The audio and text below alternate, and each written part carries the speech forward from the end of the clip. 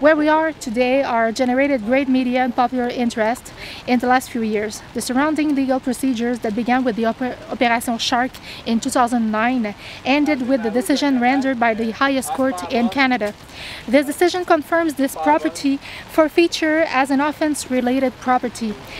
An offense-related property is a property used to commit a crime. So Judge Cohen, in September 2017, uh, stated that in the present case, the evidence showed without any doubt that the, the building has been modified and used to commit a crime by the gang for drug trafficking, but also conspiracy to commit murder against Hells Angels rival. This is an invincible fortress that has been used for by the accused throughout the gang war between July 1st 1994 and July 11, 2002.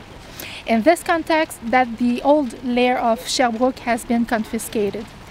We want to remind you that the DCPP, in the name of the uh, Attorney General of Quebec, manage and administers the offense-related properties and proceeds of crime.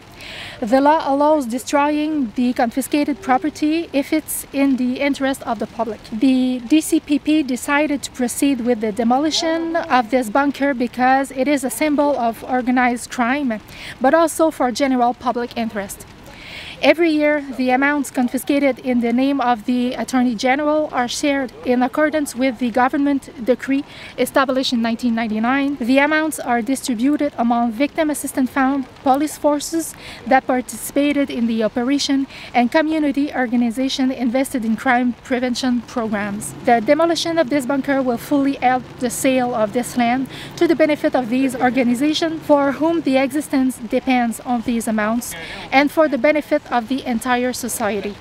Concretely, on one side we confiscated this property from the offenders and on the other side we bring solution for groups invested in crime prevention and who are there to support victims.